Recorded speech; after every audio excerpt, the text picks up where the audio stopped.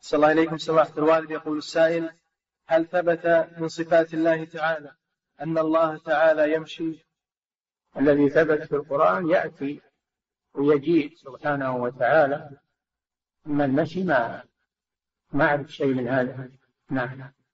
صلى الله عليكم سماحة الوالد يقول السائل يأتي كيف يشاء ويجي يوم القيامة كيف يشاء ولا نفسره بأنه يمشي أو أنه نعم.